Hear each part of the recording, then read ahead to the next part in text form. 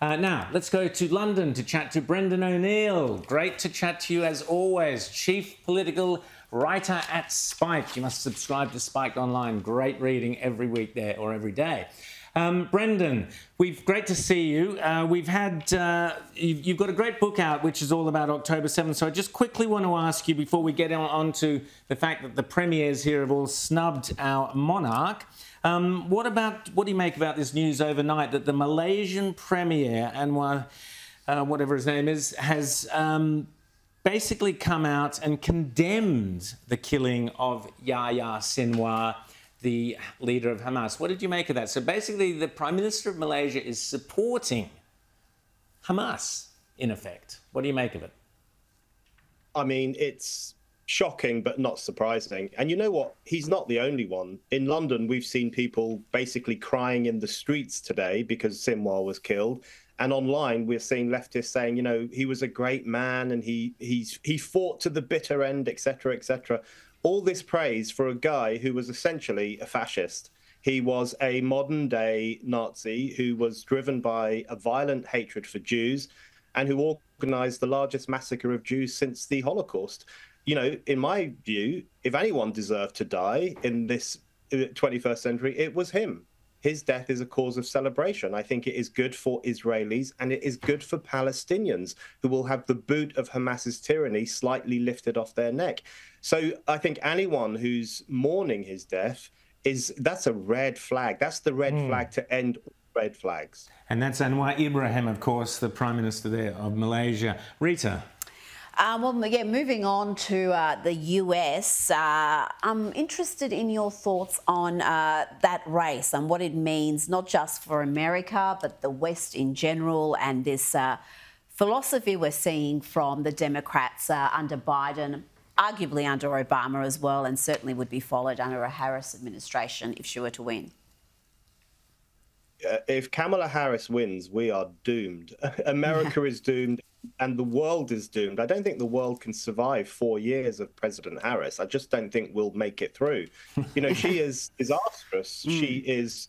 Uh, you know, people talk about Biden being on another planet. At least he has the excuse of being old and infirm. What's her excuse? You know, apart from the fact that she seems to drink a lot, but you know, she, she often she often doesn't make sense. She mm. rambles. She it's incoherent. We don't quite know what she believes. We we don't. She's incapable of explaining to us what her policies would mm. be. I think disaster if she gets into the White House. And you know, the thing that everyone said about Trump when he ran for the second time, everyone said if he gets in a second time, the world will go to rack and ruin. In fact, the world went to rack and ruin under Biden. It was under the Democrats that war has exploded in Europe, in the Middle East. You know, under Trump, things were relatively settled. So, under the Democrats, the world has gone in a bad direction, and I think it will get worse if Kamala Harris gets in.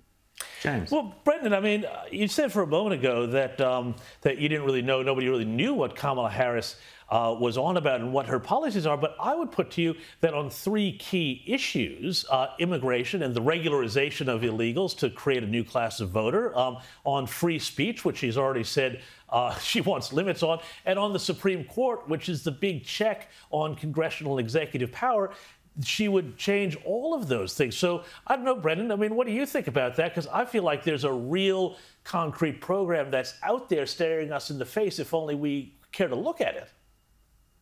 Yeah, when when her policies do slip out, when they do kind of uh, leak through all the nonsense that she speaks. They are it is terrifying, no question about that. She is awful on freedom of speech. She's not listening to the American people on the issue of immigration, on the issue of the border and, and people's desire for better control of the border. She's not listening to people on that.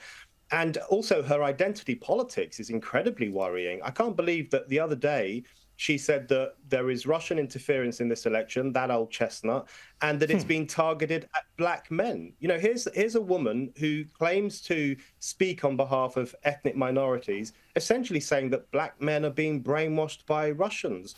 You know, mm. call me old fashioned, but that sounds a tad racist if you ask me. So that identity politics as well, that very divisive pork barrel politics in a modern form, that is also a destructive policy of hers, which I think will make America more divided. So what we do know of her policy is terrible. What we don't know is scary because who knows what she'd do if she got into power. Now, Brendan, I want to play you a bit of uh, Sky News Britain. Uh, not often we play them, but uh, here you go. They're, they were equally appalled as people here are about the fact that all our premiers from all our states refused to meet, come along and meet the King and Queen. Here you go, have a listen. There's a reception in Canberra for the King, and none of the political leaders of the eight states and territories here are attending. Their no show has been dubbed a royal snub. I love the royal family, it's a personal thing. Um, my grandma loved it, so yeah, it's awesome. I think it's just outdated. I think it's a, a, very classist and imperialist system. I think it's fantastic. I'm glad that they are part of us, we're part of them. It is stable. I like that stability. So, Brendan, the Poms have always been fascinated by how down under we treat the King and Queen. How's it been received in Britain? People here are pretty shocked that all six premiers are not bothering to show up for this event in Canberra. It is not going down very well over here. And, you know, even I, I'm a Republican. I am not a fan of the monarchy. I was a fan of Queen Elizabeth II. I thought she was a great person. Not so much of, of Charles. Um, but I do think that if you are a premier in a country in which Charles is the head of state, you should make an effort to go and attend this event. That is just good manners. You know, even I wouldn't snub the king if I'd been invited to meet him, and I'm a Republican through and through. So I do think it comes off very badly for these premiers that they are not bothering to do something that I think most Aussies, even some Republican Aussies, think is a good thing for them to have done. It, it really makes Australia look bad, I think.